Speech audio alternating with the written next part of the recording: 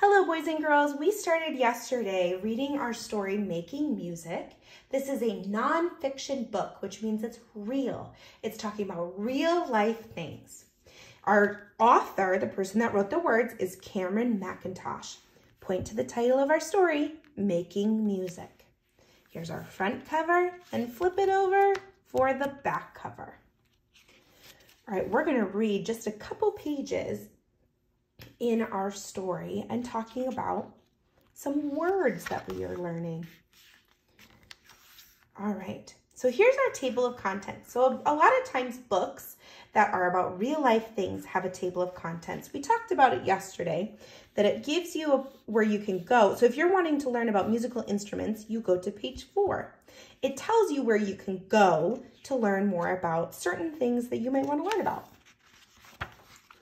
So here is the title of this section, A Part of Our Lives. Point to that in your own story, A Part of Our Lives. So that tells us what this section is going to be about, about music being a part of our lives. All right, let's read our first page. Music is an important part of our lives. It brings us together and makes our lives more fun. Now let's pause there for a second it said that music, the author says that music is an important part of our lives. Why? Why is music important part is an important part of our lives? Why do you think so? If you're near a grown-up or a brother or a sister or someone in your house, tell them, why do you think that music is an important part of our lives?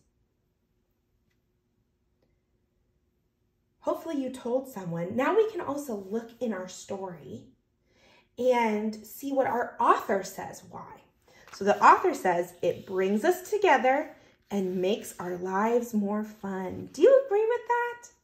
I think that music is an important part of our lives because it brings us together and makes our lives more fun. I agree. It does make our lives more fun and it brings people together. All right, let's keep reading. Every culture has its own music. In some places, music has been a part of the culture for thousands of years. Musical instruments. So here's our new title, Musical Instruments. Most music is made with musical instruments. Do you play an, play an instrument? Now let's look at this word right here.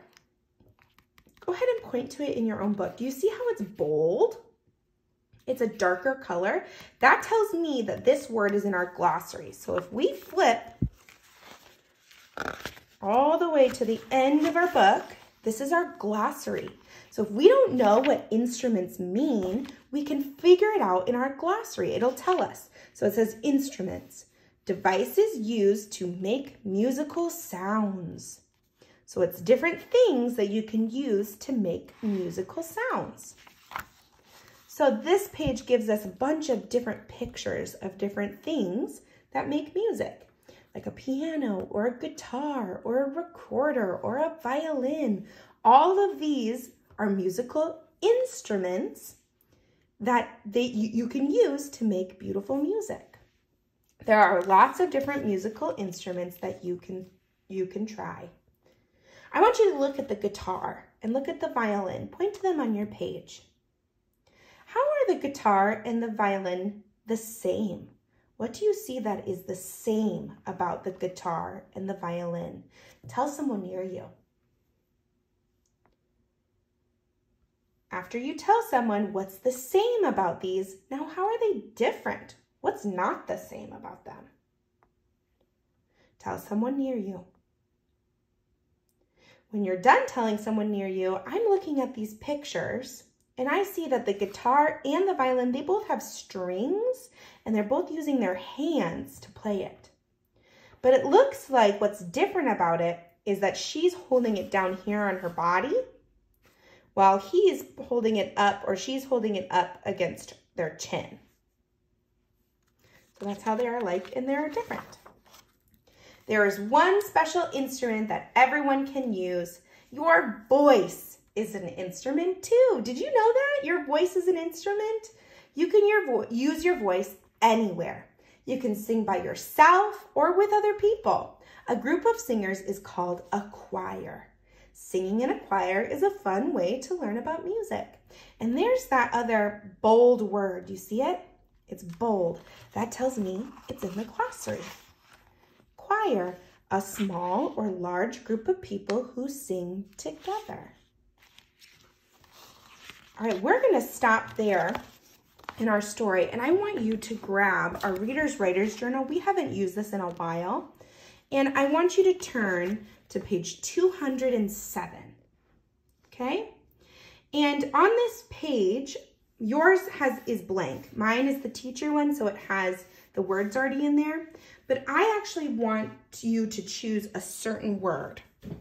Since we learned about instrument, I want you to circle the word instrument and I want you to draw a picture of an instrument we learned about today.